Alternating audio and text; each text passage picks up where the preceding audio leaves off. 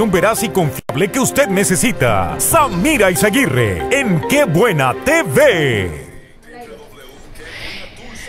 Hola, ¿qué tal? Buenos días. ¿Cómo amaneció todo mundo el día de hoy?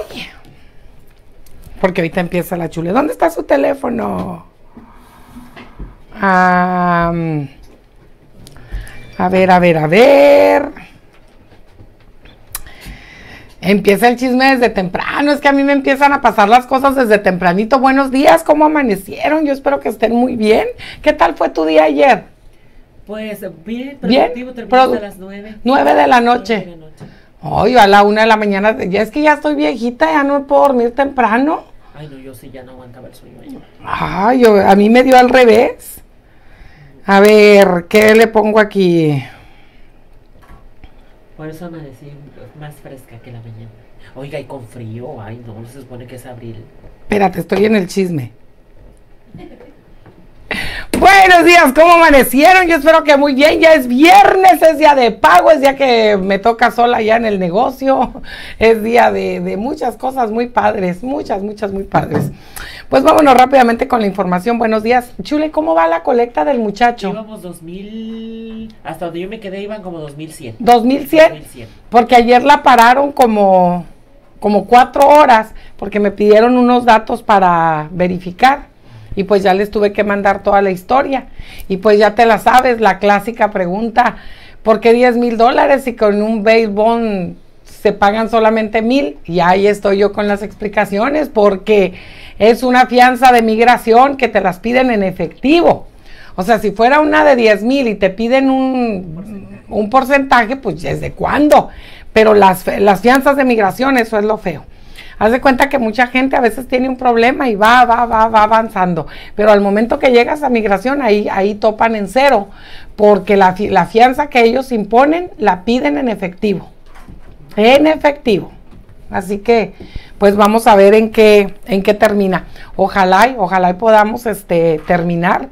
Ojalá y se pueda terminar el día de hoy para poderla cerrar, porque luego son tres, cuatro días para que te suelten el dinero. Pero bueno, ya sabiendo que está el dinero ahí, ya como quiera le hace uno. Así que vamos a ver qué es lo que ocurre. Y luego ayer, chule, aquí dentro de Tulsa, ahí por la Pine y la mm, Pine y Peoria. Ahí por la Pine, y Peoria detuvieron a, creo que eran tres personas, porque llevaban el vidrio muy quebrado. Y tenían el vidrio muy quebrado de enfrente. Les tocó la mala suerte de topar. Espéreme, porque me aprieta el brasier. No sé si me crecieron o me puse más gorda, no sé. Pero qué incomodidad, yo no sé quién los inventó. Bueno, el caso es que el caso es que los detuvieron porque supuestamente llevaban el vidrio eh, quebrado. Bueno, no supuestamente que estoy ahí de lo llevaban, llevaban el vidrio quebrado, los detuvieron y este les pidió, les pidió, les tocó el sheriff y les pidió la identificación a todos. Bueno, pues ya cuando le pidió la identificación a todos, déjame decirte que le dio su infracción al conductor, lo dejó ir. Pero cómo no cuando mete la información de uno de ellos, le sale que tiene pendiente una orden de arresto y ¿qué crees? Se lo llevó. Fueron en 20 minutos a pagar la, lo que debía y pues ya lo habían puesto a disposición del Departamento de Migración. Así las cosas. Pero al momento que llegas a migración... Entonces, ¿a qué es a lo que voy? Sé que friego mucho, pero ojalá y se les grabe. Si usted en el pasado tuvo unas infracciones y mandó a alguien a pagar, no fue usted, no le consta que están pagados, verifíquelo. Porque dicen que esta persona encontró a una persona por el internet que supuestamente ayuda y que esa persona le puso a un abogado y que ese abogado, pues por, lo que veo no lo hizo, porque ¿por qué salió la orden de aprehensión? Y en la orden de aprehensión decía que precisamente porque no pagó los recibos, porque no fue a las cortes. Así que ahorita le voy a pedir a Miriam que cheque para este, que cheque esa persona a ver en cómo está ahorita. Cecilia Muñoz, buenos días. Misael y Sandra Jiménez, buenos días. Feliz viernes. Patricia Caballos, Jaime Rocha, Paco Villavicencio, Guerrero Ramírez, Enrique Cruz, eh, Consuelo Arenas. Muy buenos días a todos ustedes. Qué barbaridad. Pues es que aquí andamos bien a gusto en Tulsa, pero pues si nos toca un sheriff sabemos que va a ir mucho más allá. La pregunta que hace todo mundo, ¿por qué les pidió identificación a todos? ¿Por qué les pidió identificación a todos? Si generalmente lo que hacen es pedir la identificación al que va manejando, al que va manejando, pero en este caso, este caso ocurrió ayer a las 12 del mediodía en La Pine y Peoria. Vámonos con más. Muy buenos días, que Dios me los cuide y me los bendiga. Usted cada día más buena, Samira. Ah, buena de buena, de, mm, de buena, de mamacita o de buena de, de buena persona o de buena pa es que, que, que aclaren, ¿verdad? Que aclaren. Lo que sí es que me estoy quemando. Ando hot. O sea, Ahora tiene calor. mucho, por favor, pónganme. No o Merito, pónganme airecito, Merito, porque la verdad, fueron y le prendieron al calentón, ¿verdad? Pues tenemos frío. Pues y hasta te brilla la nariz de lo que está sudando. Es crema, no ve que tengo un problema de la piel. Ay, soy Patricia Ceballos, no caballos. Ay, perdón. Mira, ahí va Merito, rápido y raudo a ponerme al aire. Ay, es que ya, ay, ay, ay. La, quebrado el termostato. La ceremonia de conmemoración anual número 24 del bombardeo de la ciudad de Oklahoma City comienza a las 8.45 de la mañana de hoy viernes con una gaita y luego 16 segundos de silencio por cada víctima. El gobernador Kevin Stitt pronunciará su primer discurso junto con el alcalde de Oklahoma City, David Holt, y el senador James Langford. El 19 de abril de 1995, la bomba estalló a las 9.05 de la mañana en el exterior del edificio federal Alfred Murrah. 15 de las víctimas asesinadas fueron niños. La explosión también hirió a otros 680. Cientos de trabajadores de rescate de todo el país respondieron para ayudar después del evento, que incluye a varios miembros del Departamento de Bomberos de Barrousville y esta mañana tendrán una ceremonia especial de conmemoración. Así la situación. Hoy hace 15 años. A ver, ¿cuántos años? Fue en el 1990 y 1995. 24 años. 24 años, se nos va muy rápido el tiempo. El gobernador Kevin Stitt firmó un proyecto de ley que incrementa el límite de velocidad en las autopistas de Oklahoma. El límite de velocidad en las autopistas de todo el estado pasará de 75 a 80. En ciertas carreteras estatales va a pasar de 70 a 75 millas por hora. Los nuevos límites de velocidad se van a implementar gradualmente con el tiempo. ¿Por qué? Se le hará que está muy... ¿En qué nos va a beneficiar? ¿Que vamos a llegar más rápido? Pues como quiera, uno me respeta. Unos ni respetan, ¿verdad? Todavía les dan más alas. Les dan más alas para que anden ahí bien fuertes. Oye, la gente que vive en los poblados pequeños se alocan bien feo. Los, sobre todo los jóvenes, los que viven así en, en- no les estoy hablando de latinos, es en general. Los ves, por ejemplo, ya ves, yo vivo allá en Broken Arrow y me gusta andar buscando en los Walmart para buscar mis carritos y voy mucho al que está en, ¿cómo se llama? Es un pueblito que está así pegado para Broken Arrow, más así, más hacia el sur. No, eh, al este, al este. Y sí, en la noche que me toca ir a andar buscando mis carritos, allá andan manejando como locos, como locos. Así que, pues ya les van a dar más alas a su ímpetu.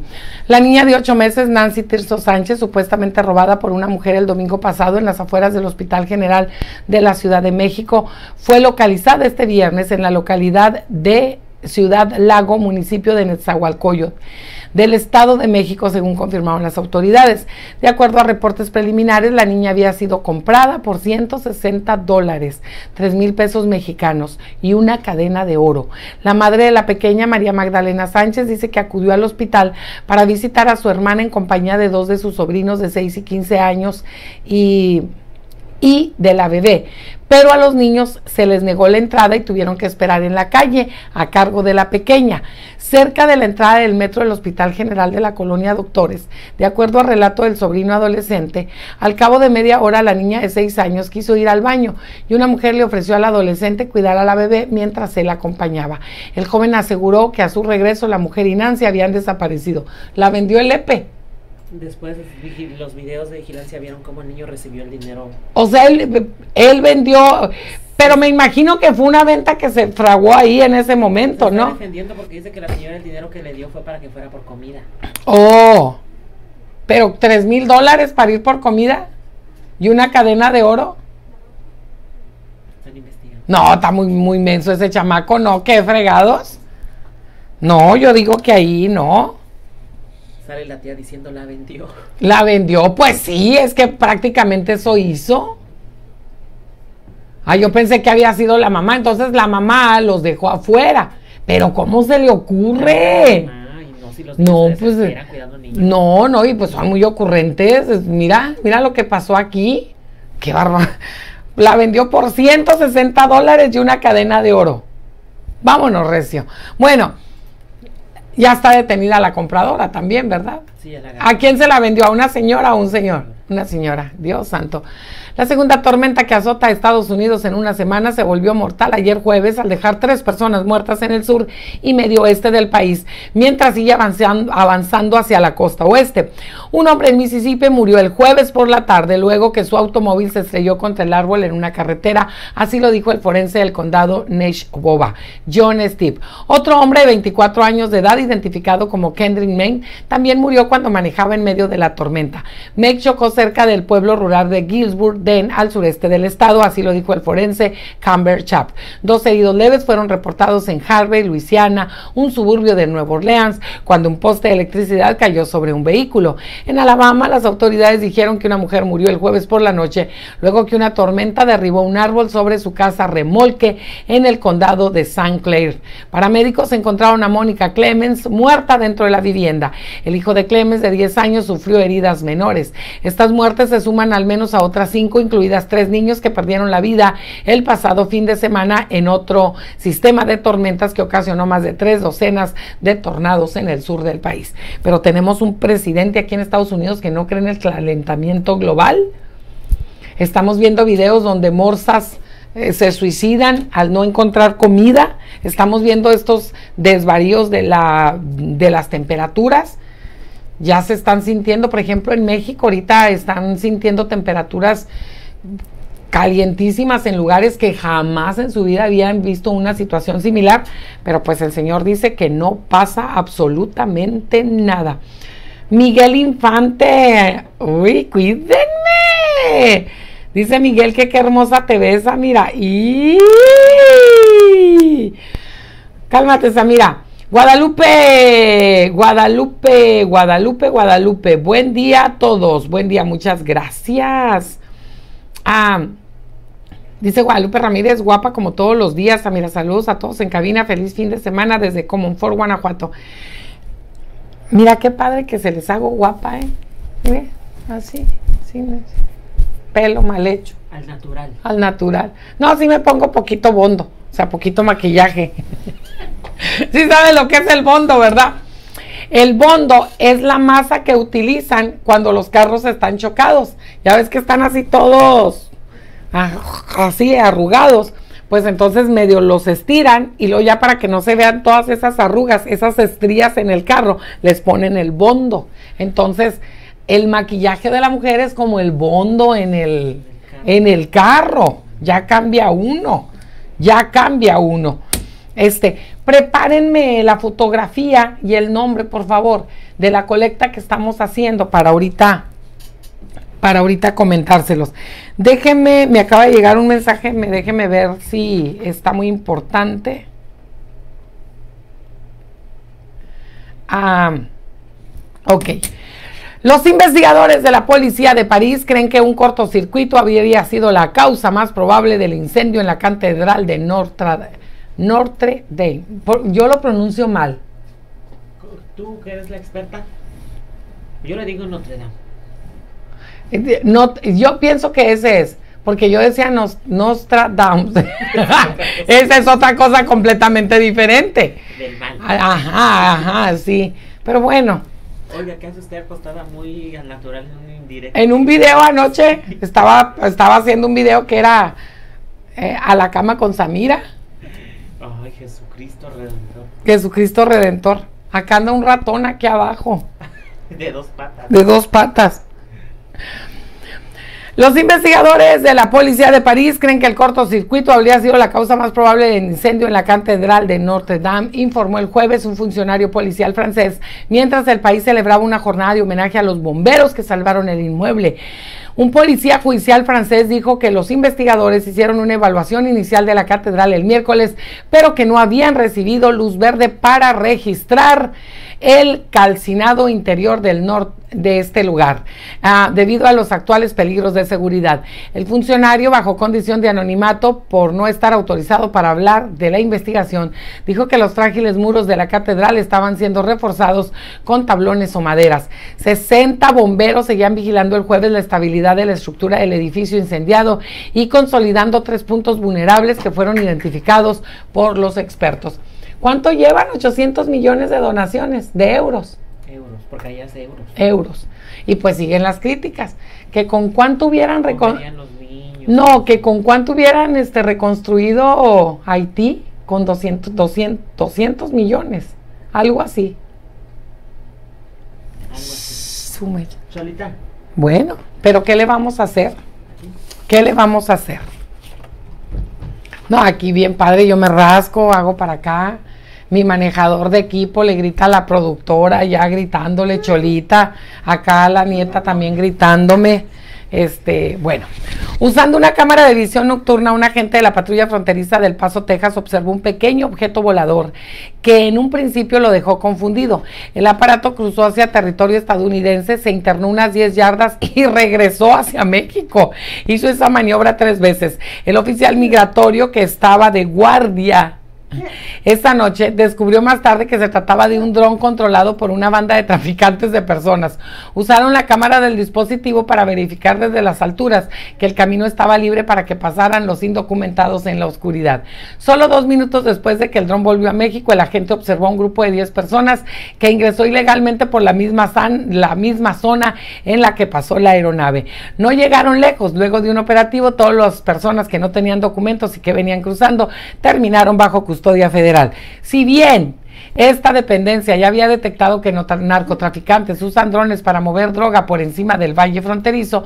Nunca habían visto que un aparato de ese tipo espiara a sus oficiales. No, están carajos, ¿verdad?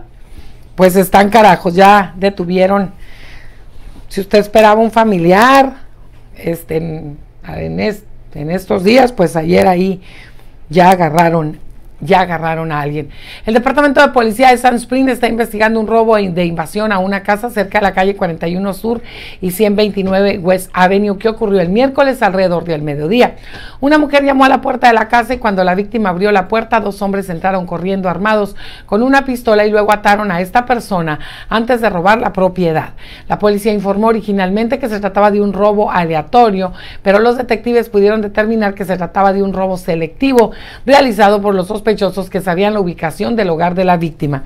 El departamento de policía le ha pedido a cualquier persona con información que ayude a resolver este caso y comunicarse con el detective Limón al Lemon, perdón, al 918, ah, rápido, le puse aquí bien latino, 918-249-2500, 918-246-2500 con extensión 2578. Así las cosas. Vámonos con más información. La policía de Tulsa está buscando a dos personas, a a un hombre que robó a punta de pistola cerca de la 21 y Garnet. La víctima estaba caminando por un campo el jueves por la noche cuando dos hombres se le acercaron a él.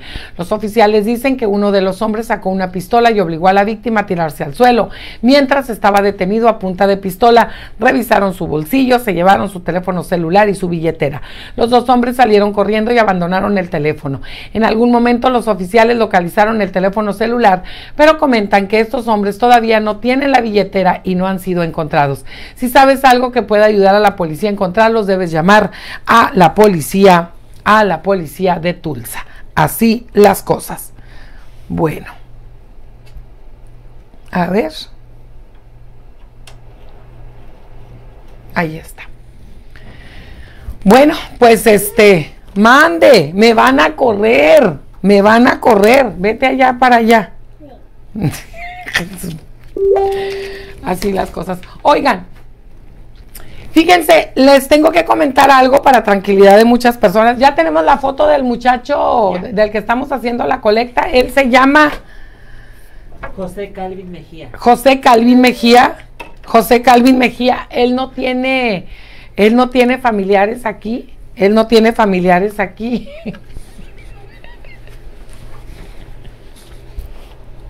Me va a correr Esteban Ten.